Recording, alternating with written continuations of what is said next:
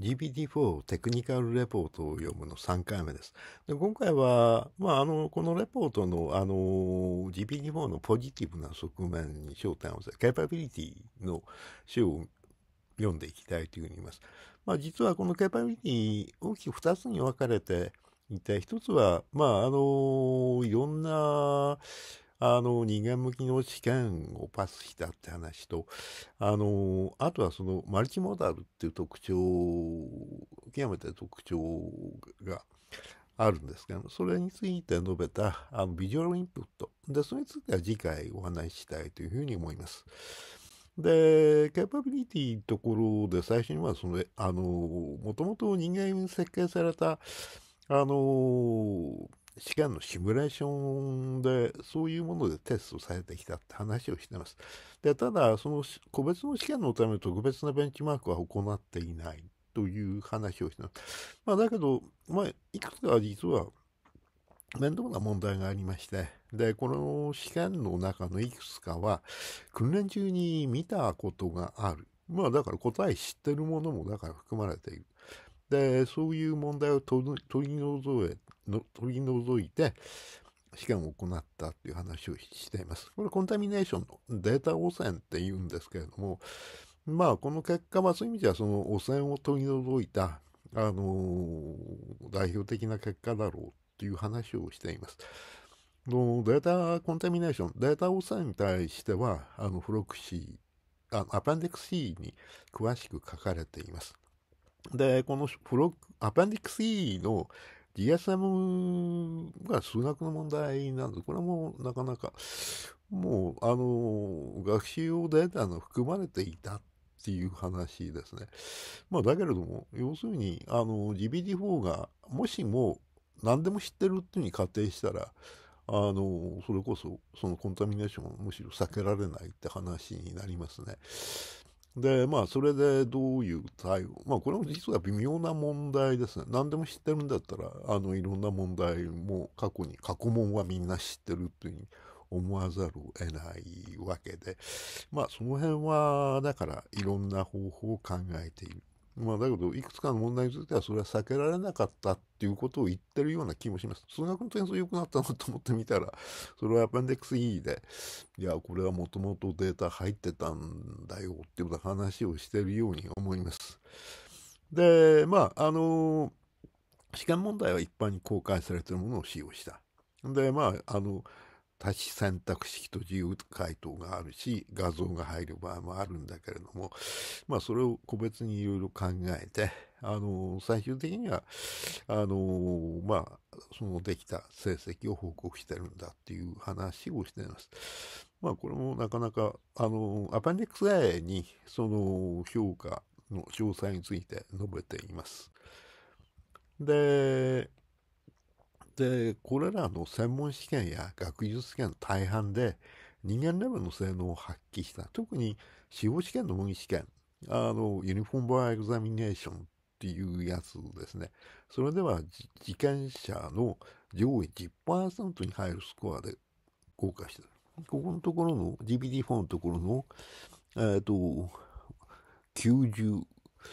90番。90%、あの、あれですね。あの90%以上ってことですね。で、GPT-4 の場合には、下位10%にしか、あ、GPT-3.5 の場合には、あの、下位10%にしか入らなかったけど、そこでは、この問題については、あの、大きく精度が向上。まあ一つの、これが目玉ですね。司法試験の問題ちゃんと解いたっていうのが、この GPT-4 の、あの、成果としては繰り返し強調される。こんな問題ですね。あの、ちょっと調べてみたんです。これはだから、あの、誰かが、あの、雇い主がですね、あの、1分間、6分間で、あの、1マイル走れるかっていう話をして、だったら賞金あげるって言ったんだけど、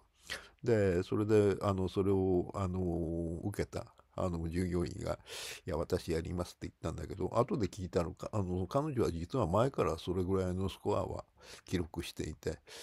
で、それで後で雇いんですが、そそんな俺は知らなかったぞって訴えてやるみたいな、そういう、まあつまんない話ですけれどもね。で、それで ABC から答えを選べっていう話ですね。で、これは雇い主の、あの、雇い主じゃない、ルーミーじゃなくて、ルーミスか、じゃなくて、あの、グレスフル、あの、賞金を受け取った方が勝つと思いますけどね、それを選べっていう話ですね。まあ、だけど、いくつか失敗もあって、まあ、左側うまくいった例なんですが、これはもう、あの、早とちりっていうか、エルビスと言ったらエルビス・プレスリーだろうというみたいな間違った例も。で、これは後でまたそのリミテーションは、あの、まあだから、あの、間違いもするんですよね。それは後で、自治会ぐらいにそのリミテーション。ここはでもあの、残、あの、後の、あの、システムカードっていう論文につながる、あの、ステップになるんですが、それについてはまた別な章で紹介したいというふうに思います。で、あとこれも面白かったんですが、その GPT-4 の能力っていうのは必ずしもチャット GPT で導入された R、RL、あの、要するに人間のフィードバックを元にした強化学習ですね。RLHF っていうのは。あの、それの影響は実は受けていないんだで、僕なんかはむしろ RL、その人間のヒューマンフィードバックが大きいんじゃないかと思っていたんですけれども、そうではないんだっていうふうな主張をしています。それ、事前のトレーニングの寄与の方がずっと大きい。で、実は RLHF F を後で、あのあの、ファインチューニングのところを導入しても、あの、実はあまりその能力に差はなかったという話をしています。でこれもちょっと僕には意外だっていうか、まあでもそうなんですよね。で、それから、もうこれはあとそのフューショットプロンプティング。で、これはまあ別にあの、この GPT-4 に限らず、ある意味は GPT-4 系の、まあトランスフォーマーはみんなそうだと僕は思ってるんですけれども、まあ例えばこういうあの例が出てるんですけども、これは AP、あの、要するに、あの、大学の教養レベルの単位を事前取得するっていう制度だと思いますけども、で、これはですね、問題があって、その答え出す前に、問題の説明をさせてるんですよね。エクスプラネーションプログラムっていうか、ここがそのステップとしては大事で、こういうのを付け加えることによって、な答えがよくなる。でそういう意味では一発であの答えを求めるんじゃなくて、フューショットで、あの、ステップを踏ませて、あの、答えを持つ。で、これはでも、あの、GPT-3 の時にすでにそのフューショットプロンプトっていうのがとても有効だってことは発見されていて、で、Language Models は Few Shot Learners。言語モデルっていうのは、あの、いくつかのプロンプトを通じて学ぶものなんだっていうのも、これはとても基本的なアプロ、あの、論文です。まあ、これはでも別な、僕はまあ別な解釈してて、まあ、あの、トランスフォーマーっていうか、要するにアテンションなんですよ、トランスフォーマーっていうのは。で、アテンションっていうのは、あるところを解釈するのに別なあのコンテキストを参照しなさいっていう話を他の時にアテンションを向けなさいって話ですよね。でもそれはですねなかなかどこに飛ぶかっていうのは難しくて。でまあ僕の理解だとそれはあのベンジオンが言ったみたいに次元のノリ新しいタイプの次元のノリがあのコンテクストレベルあのドキュメントレベルで出てくるんですけどもどこに飛ぶかっていうのをこのフューショットが助けるっていう理解があの僕は当たってるような気がそのことはまあ僕の考えはまた別な意味で要するにあのアテンションメカニズムに支えられたあの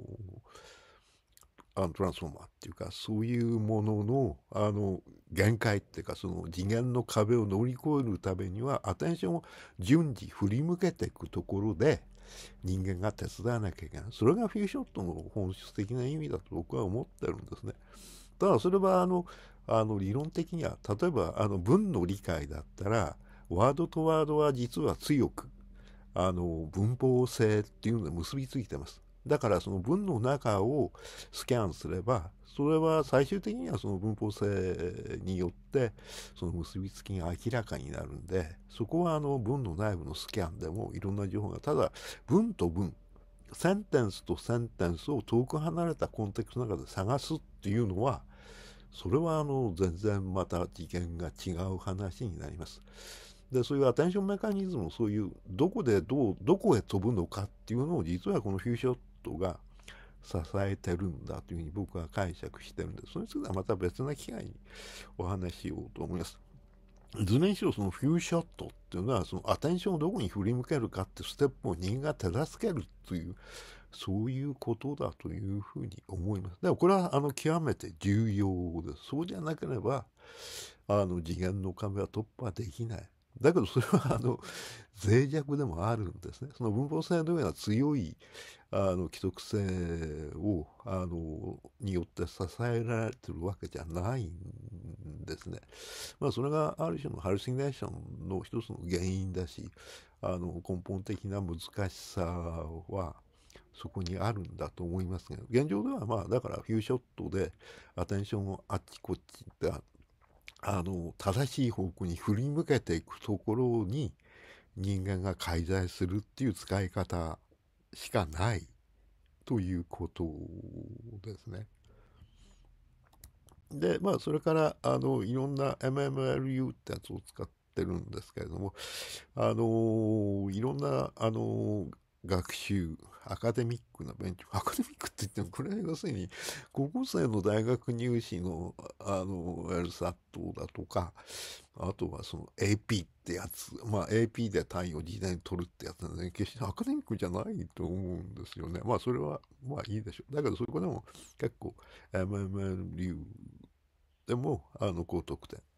を、まあ10ポイントぐらいあの、なんだ、他のやつに対して性能がこう10ポイント、あの、3.5と比べると15%ぐらい性能が構築して、まあだけどこの辺のアカデミックって言葉遣い僕は嫌ですね。これは全然アカデミックじゃねえじゃん。受験生向けじゃんっていうふうに思いますけれども、まあそれはいいとして、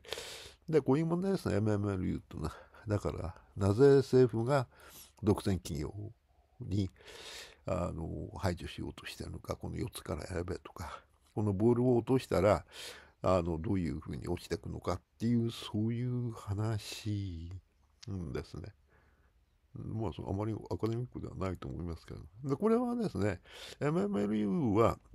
Measuring Massive Multitask Language Understanding っていう、これも、あの、ちょっと前だと思いますが、この論文が基本的、あ、ごめん、さっき言い忘れたんだけど、あの、あの、あれですね、フューショットも、あの、DBT3 の時に出た論文、あれ基本的な論文、まあ、僕の位置づけとはちょっと違うんだけれども、あの基本的な論文がいくつかあります。MML についてはこういう論文があるということですね。で、まあ、あと、日本語対応してない。日本語ちょっと、あの、精度落ちますね。だから、まあ、それは、まあ、昔から、まあ、あの、トルコ、トルコ語より下で、と、これはなんだ。あの、あ、アフリカの言語よりは上だっていうところ。まあ、それはまあ、あの、ややむを得ないかもしれないですけれども、まあ、少しずつ上がっていくものだというふうに 思います。で、これはあとはユーザーの意図をどれぐらい沿うのか。まあ先ほどだから、あの、人間のフィードバックのキーはあんまり大きくなかったって言ってあるんですけれども、えっ、ー、と、でも GPT-4 は明らかに GPT-3.5 よりも、あの、人間のインテント、意図に沿う能力は高くなっていて、しかも、あの、ユーザーに、人間に選ばせると、あの、GPT-4 のレスポンスの方が、あの、7割以上の人は、あの、あの、GPT-4 の方が、あの、能力が上がってると感じてるっていう、あの、アンケート結果ですね。で、あと、これも大事な、これも、あの、なんか最近また更新あったような気がするんですけれども、このモデル評価するのベンチマーク。で、それを評価するためのフレームワー。これも要するにある種の、まあ、この前、あの、ポレディクタブルスケーリングの話をしましたけれども、そのベンチマーク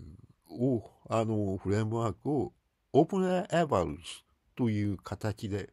提供しています。これは、あの、まあ、いろんなベンチマークと互換性があって、まあ、今使っているモデルの性能を追跡するために使うことができて、で、こういう形の、あの、あの、貢献をオープン AI がした。これは、あの、開発、AI の開発という観点から見れば、その、いろんなモデルを評価するためのベンチマーク、やっぱりどうしても必要なんですよね。そういう共通なプラットフォームということで、これも、あの、これが、あの、論文とかあったと思います。これは、あの、GitHub ですね。この、大規模言語モデルの性能を検証するフレームワークとして、オープンエアバルズっていうのを提供してるで、これもあの大事な貢献だというふうに思っています。で、次回、今回はだからちょっと自慢話が中心なんで、あれなんですけど、あの、次回は、あの、内容的にはやっぱりなかなか面白い、あの、マルチモーダルっていうか、ビジュアルインプットのケーパビリティの話ができたらというふうに思っています。